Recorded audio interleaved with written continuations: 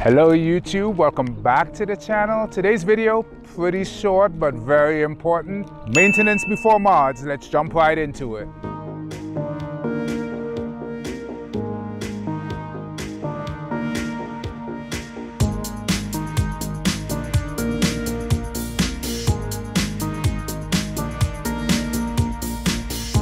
So I've owned my 2016 BMW 535i, the F10 that's sitting behind me for about four months now. And in that time, I've done a lot of maintenance on this car. I've done, I've had spark plugs done, I've had air filter, uh, in-cabin filter, oil change, transmission fluid service. I believe the rear diff has already been done. I gotta check my records and see if I've done that. If not, I'll have it done.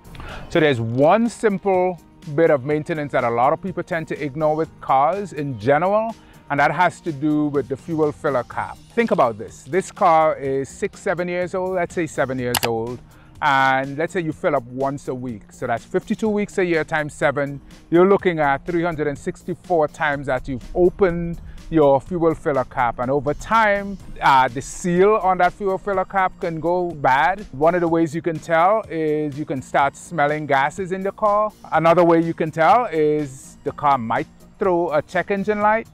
Other things that can happen is you can get debris and sediment into the tank that can over time foul up your injectors, etc., and you start having problems with the car. So to kind of negate all of that, if you start smelling gases or you start seeing check engine light, first check to see that your fuel filler cap is on tight. If it is on tight, if it's loose or anything like that, just go ahead and replace it. So I got my part here. Um, I haven't had any of those issues, but I just said, you know what, let me just go ahead and order it and just replace it anyway as a bit of preventative maintenance. It is very easy to replace. You can do it yourself. I'll have a link to the part number in the uh, description down below. So you can check that out after the video. Just click on the link, it will take you to Amazon. So the process to replace the existing gas cap is pretty simple. Just open the fuel filler door. On the door you would see a little extension that holds the gas cap to the door. Push forward toward the car. That should snap out. Turn the gas cap counterclockwise and take it out of the car and you should have it in your hands.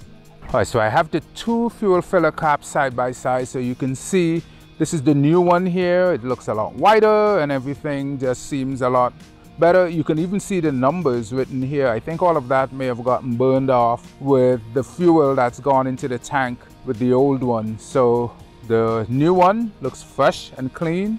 The seal has a much stronger blue than the old uh, fuel filler cap.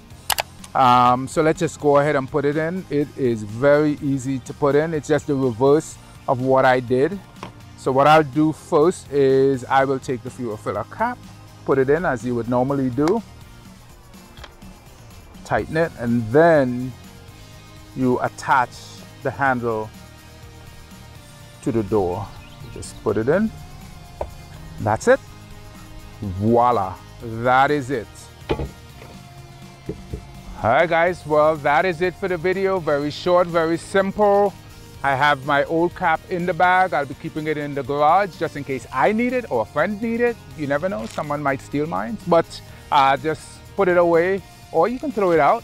Uh, if you have to ask yourself when was the last time you've ever replaced your gas cap, just go ahead and do it. It's a couple bucks. The link is down in the description below. Click on the link, check it out buy it, replace it. It's very simple. You can do it yourself. Don't wait until you have an emergency like your injectors need to be replaced or anything like that. Just go ahead and replace it and be done with it. Please like the video, subscribe to the channel, and I will see you on the next one.